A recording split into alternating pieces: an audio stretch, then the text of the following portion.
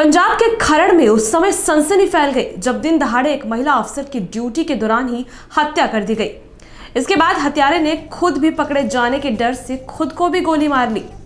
उसे गंभीर हालत में अस्पताल में भर्ती कराया गया है।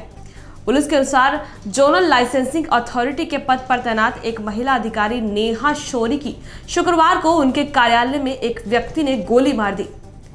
जख्मी हालत में नेहा को अस्पताल ले जाया गया यहां कुछ समय बाद महिला अफसर ने दम तोड़ दिया ਕੈਮੀਕਲ ਲੈਬ ਦੇ ਵਿੱਚ ਇੱਕ ਨੇਹਾ ਨਾਂ ਦੀ ਔਰਤ ਹੈ ਨੇਹਾ ਸ਼ੌਰੀ ਇਹ ਉੱਥੇ ਅਫਸਰ ਲੱਗੀ ਹੋਈ ਹੈ ਜੋਲਨ ਲਾਇਸੈਂਸ ਇੰਚਾਰਜ ਨੇ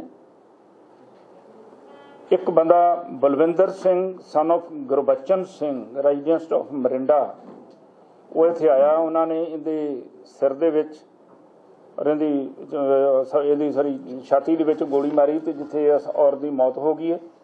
ਉਹਨੇ ਜਦੋਂ ਭੱਜਣ ਦੀ ਕੋਸ਼ਿਸ਼ ਕੀਤੀ ਤੇ ਅੱਗੋਂ ਪਬਲਿਕ ਉਹਨੂੰ ਦਿੱਸੀ ਤੇ ਉਹਨੇ ਆਪਣੇ ਆਪ ਨੂੰ ਗੋਲੀ ਮਾਰ ਲਈ। ਉਹ ਵੀ ਸੀਰੀਅਸ ਕੰਡੀਸ਼ਨ ਦੇ ਵਿੱਚ ਹੈ ਹਸਪੀਟਲ 'ਚ ਇਹ ਬੰਦੇ ਕੋਲੋਂ ਇੱਕ 32 ਬੋਰ ਦਾ ਜਿਹੜਾ ਪਿਸਤੌਲ ਬਰਾਮਦ ਹੋਇਆ ਇਹਦਾ ਲਾਇਸੈਂਸੀ ਹੈਗਾ। ਔਰ 32 ਜੀ .32 .32 ਇਹਨੇ 11 ਮਾਰਚ 2019 ਨੂੰ ਇਹਨੇ ਜਿਹੜਾ ਵੈਪਨ ਲੈ ਕੇ ਆਪਣੇ ਲਾਇਸੈਂਸ ਦੇ ਉੱਤੇ ਚੜਵਾਇਆ। ਔਰ ਅਜੇ ਤੱਕ ਜਿੰਨਾ ਸਾਨੂੰ ਪਤਾ ਲੱਗਾ ਹੈ ਕਿ ਇਹ ਬੰਦੇ ਪਹਿਲਾਂ ਮਰਿੰਡੇ ਦੇ ਵਿੱਚ ਨੌਕਰੀ ਕਰਦਾ ਸੀ, ਉਸ ਤੋਂ ਬਾਅਦ ਇਹਨੇ ਆਪਣੀ ਕੈਮਿਸਟ ਸ਼ਾਪ ਬਣਾਈ ਔਰ ਇਹਦਾ 2 2.5 ਸਾਲ ਪਹਿਲਾਂ ਲਾਇਸੈਂਸ ਜਿਹੜਾ ਕੈਨਸਲ ਹੋ ਗਿਆ ਸੀ।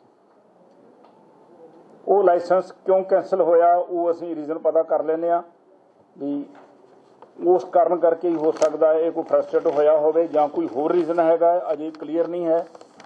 ਉਹ ਜਦੋਂ ਵੀ ਗੱਲ ਪਤਾ ਲੱਗੀ, ਤੁਹਾਨੂੰ ਸਾਰੀ ਅਸੀਂ ਉਹਦੇ ਚ ਦੱਸ ਦਿਆਂਗੇ, ਇਹਨੂੰ ਪ੍ਰੋਪਰ ਅਸੀਂ ਵੈਰੀਫਿਕੇਸ਼ਨ ਕਰ